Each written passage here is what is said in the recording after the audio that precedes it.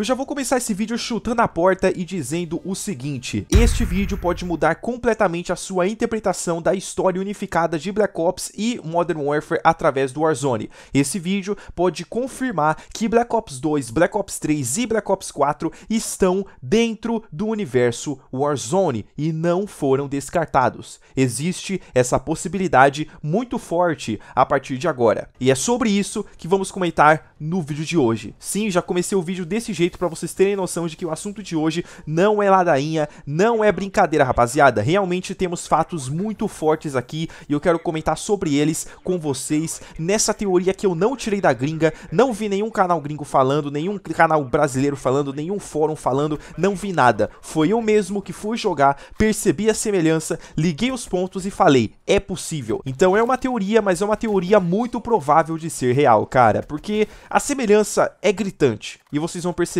ao longo da explicação. E aí galera, aqui sou o Felipe Brasil Game, bem manos, hoje eu trago mais um vídeo pra vocês pra comentarmos novamente sobre novidades aí de Call of Duty Black Ops Cold War. Na verdade, a novidade do momento, através aí do lançamento da segunda temporada do game, é o inédito modo Outbreak, lançado para o modo Zombies, modo inclusive que está gratuito até o dia 4 de março, tá? Se você não viu ainda, tá gratuito em todas as plataformas, além de um, algumas coisas do multiplayer também. Vou até deixar este vídeo aí nozinho, eu comentei tudo que está gratuito em Black Ops Cold War até o dia 4 de março, caso você queira aproveitar, beleza? Bom, pessoal, o mapa Outbreak, o modo Outbreak, desculpa, foi lançado, e nos primeiros 10 minutos que eu fui jogar o Outbreak, eu percebi uma parada insana tá ligado? Mas assim, não tem, não tem como isso não ter sido feito de propósito, tem alguma coisa aí, cara. Eu, não é só eu que devo estar tá louco, não tem como. Pra quem não manja muito, eu vou resumir um pouco, depois eu vou gravar um vídeo falando mais sobre isso especificamente. Vamos dar uma breve resumida aqui na parada. Outbreak é um modo lançado para o modo zombies, que ao invés de ser aquela sobrevivência contra zumbis padrão que nós já estamos acostumados na franquia,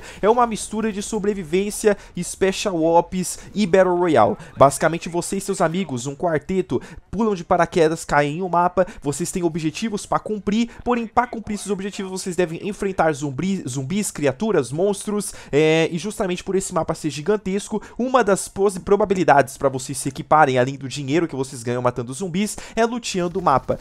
Existem baús, existem armas espalhadas, existem itens, score streaks, perks, que você pode pegar espalhados pelo mapa, luteando como se fosse um royale, só que com zumbis. A questão, meu irmãozinho, é que eu estava luteando tranquilo, serelepe, de boa, ganhando a minha diversão diária com este joguinho, quando de repente eu me deparo com este som que sai de todos os baús. Basta você ouvir.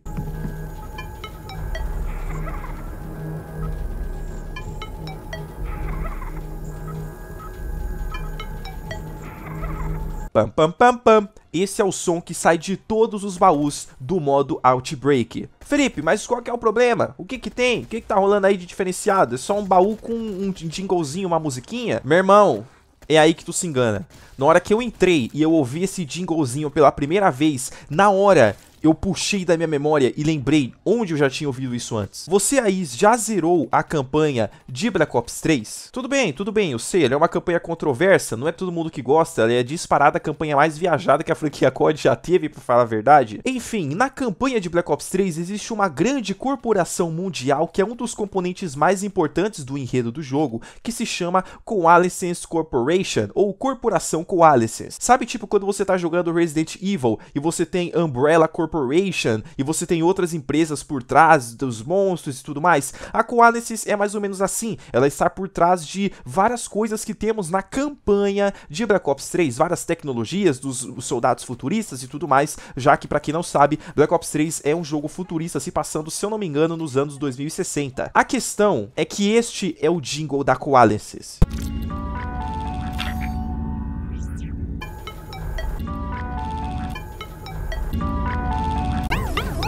Reflex from long dead programming.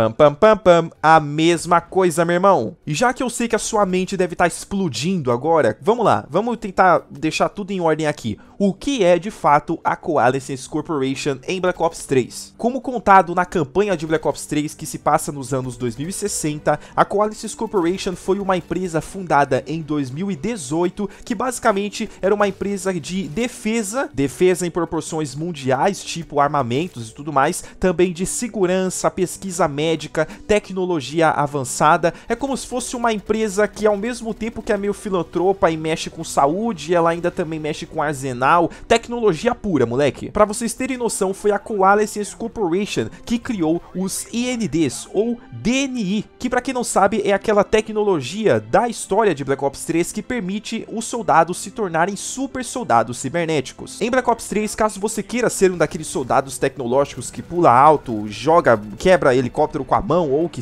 ou que for, você precisa abrir mão de um pouco da sua humanidade fisicamente falando. Vamos supor que você queira se tornar um super soldado no universo de Black Ops 3. Você precisa, por exemplo, amputar o seu braço, colocar um braço mecânico, amputar a sua perna, colocar uma perna mecânica, amputar outras partes do corpo e trocar por componentes cibernéticos, por placas, por circuitos. Porém, para que esses componentes cibernéticos que compõem agora o seu novo corpo funcionem, você precisa ligar eles ao seu cérebro, para que eles consigam meio que funcionar como se fosse o seu corpo mesmo, fazendo uma espécie de sistema nervoso cibernético. Esse sistema nervoso cibernético é uma tecnologia chamada IND, Interface Neural Direta, ou DNI na versão em inglês, Direct Neural Interface, uma espécie de software que é instalado no seu cérebro e faz com que o seu cérebro consiga traduzir o que você está querendo fazer em questão de movimentos para todos os componentes cibernéticos. E aí você vai realmente sentir e fazer a sua mão cibernética mexer, o seu dedinho mexer, apontar para algum lugar, o seu pé você vai correr, você vai pular. É assim que a tecnologia e a ciência fictícia de Black Ops 3 funciona. E quem criou esse software cerebral, bem como todos esses componentes físicos que você substitui no seu corpo, foi a Coalescence Corporation. Então ela é uma, perso uma personagem, podemos dizer assim, uma,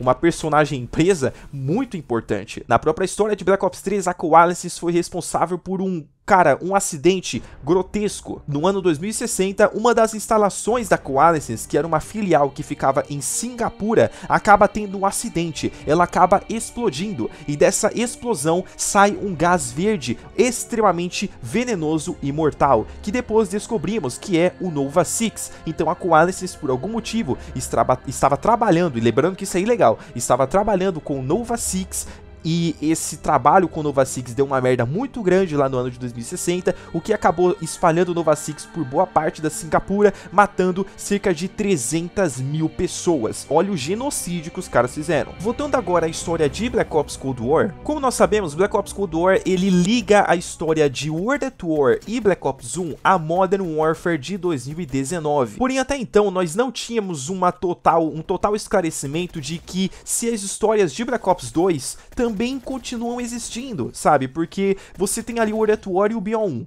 Aí você tem o Black Ops Cold War e depois o MW. Mas e aí, depois do MW, rola o BO2? O BO2 se passaria o quê? Seis anos após o MW, já que o BO2 é de 2025? E o 3 e o 4, eles também vão existir? Ou do BO2 pra frente tudo foi descartado e o que temos até o momento é que o limite foi o MW e tem que esperar um próximo código que continue a história para valer? Não sabemos, não tínhamos a resposta dessa pergunta. Entretanto, aparentemente parece que a Coalescence está dentro da história Zombies de Cold War, que é unificada com campanha, Warzone e tudo mais. E se a Coalescence existe nessa timeline, então isso significa que a história de Black Ops 3 vai acontecer em algum momento. Porém, a história Zombies se passa na década de 80 e a Coalescence só começou a existir em 2018, segundo dados tirados do Black Ops 3. Então, como esse jingle já existia, como a Coalescence poderia já existir? Levando em conta que tínhamos uma corrida espacial, uma corrida armamentista, uma corrida tecnológica na época entre a União Soviética e os Estados Unidos, é totalmente justificável que a Coalescence já fosse criada nessa época, mas isso contradiz o que o Black Ops 3 disse. E aliás, por que, que a Coalices estaria trabalhando com zumbis, estando no modo Outbreak, talvez junto com a Omega? Bom, pessoal, vamos com calma. Sobre a Coalice estar trabalhando com zumbis, a gente viu que ela mexia com Nova Six, lá no BO3. BO2. Lembrando que Nova Six foi criado lá na Segunda Guerra Mundial pelo cientista Friedrich Steiner. E sabemos que os agentes de Perseus estavam trabalhando com Nova Six lá na Rebirth Island, justamente com um misterioso até agora componente biológico responsável por criar mortos-vivos que estão agora presentes em Verdansk após um barco de 1984 ter viajado no tempo para 2021, onde Verdansk está. Sim, ele viajou no tempo. Peço até desculpas pelo erro que eu cometi no vídeo anterior, que eu vou até deixar aí no izinho. Tá tudo certo, só essa parte aí que eu errei. Viajou no tempo mesmo. É. Se os soviéticos que estão mexendo com zumbis, que também estão mexendo com Dark Aether através da, da subdivisão Ômega, e que ainda estão mexendo com Nova Six, são os responsáveis por o que está acontecendo em Outbreak e acontecer, não iria me admirar que uma empresa que trabalha com Nova Six estaria envolvida em Outbreak. E Felipe, por que que essa possível coalescence não nascida em 2018, mas já existente desde a Guerra Fria, poderia estar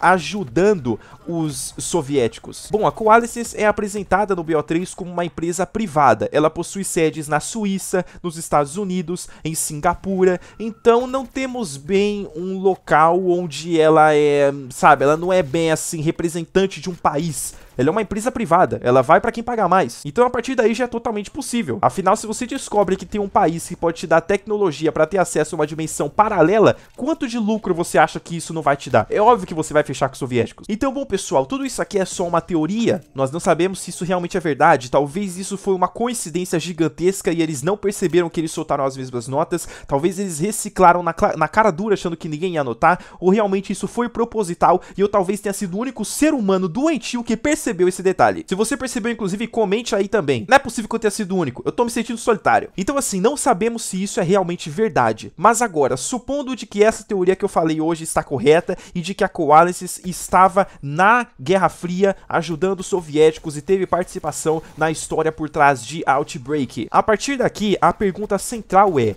para onde essa história vai? Porque temos duas vertentes. A primeira é que a Coalescence foi introduzida nos mapas do Outbreak para que consigamos fazer automaticamente um link com Black Ops 3, confirmando que BO2, BO3 e BO4 se passarão após MW cronologicamente, o que significa que depois da história do MW Reboot e depois do MW Reboot 2, que nós temos 90% de certeza que vai ser lançado, em algum momento aconteceria a história do Black Ops 2 em 2025, o que seria muito estranho, levando em conta o pulo gigantesco gigantesco de tecnologia em apenas 6 anos do MW pro BO2, o que é um pouco bizarro, mas nem vou questionar muito isso. Afinal, você tá em 2021 e de 2015 para cá não mudou tanta coisa em 6 anos. Isso confirmando que essa história tá realmente unificada com todo o universo Black Ops completo e que o futuro reservado para o mundo do Warzone, do Price e do Ghost é a presença do Menendez adulto e do Harper e também do David Mason e do Jacob Hendricks e daquela galera do BO3 também também. Lembrando que não considerem toda a história do BO3, porque só a primeira e a segunda fase são canônicas, todo o resto é ideia da cabeça do nosso protagonista. Toda a história do BO3, para quem não sabe, é um delírio, com exceção da primeira e segunda fase, que são reais. Expliquei mais sobre isso nesse vídeo aéreozinho. Ou então, o que sinceramente eu acho que seria muito mais legal, o que estamos prestes a perceber aqui é que na verdade eles estão já plantando uma maneira de recontar a história do do BO2, BO3 e BO4 de outra maneira, com uma coalescence que na verdade começou ali em meados do, da Guerra Fria e aí lá para 2020, 2025, ela já tá no seu ápice, criando algumas tecnologias, meio que arrumando uma maneira de traduzir essas histórias, pegar componentes que deram certo nos Black Ops 2, 3 e 4 que foram descartados para poder apresentar de novo de numa maneira, uma espécie de releitura. Sinceramente, eu acharia muito mais bacana. Talvez, quem sabe, no futuro recontar a história de Black Ops 2 após o MW, se passando no mundo moderno, porém com os mesmos vilões, com os mesmos heróis, alguns acontecimentos semelhantes, e com a presença da Coalescence Corporation. Lembrando que a Coalescence Corporation, na história de Black Ops 3, compra todas as ações restantes da Tacitus Corporation, uma empresa fantasma que era de, de que o dono dela era o Raul Menendez. Bom, manos, é isso. Comenta o que vocês acham a respeito respeito, cara. Quero muito saber a opinião de vocês. Será que eu tô louco? Ou será que eu não tô louco? Eu não sei, cara. Mas comenta aí, quero saber o que vocês pensam a respeito, pessoal. Peço também que vocês deixem um like aí, porque dá uma força do caramba pro canal, vocês não tem noção. Pra ajudar aqui no vídeo, ajudar aqui no canal. E se você curtiu esse vídeo também, mano, e não é inscrito no canal, inscreva-se e ative o sino pra não perder outros vídeos e rumores e loucuras e teorias como o vídeo de hoje. Nossas redes sociais estão aí em cima e tem também o nosso Discord na descrição pra você bater um papo, combinar com os amigos de jogar um Outbreak, fazer amigos. Se você não tem amiguinho pra jogar Outbreak, no Discord tem gente lá. É bacana. Eu vou ficando por aqui e é isso aí, pessoal. Valeu e fui!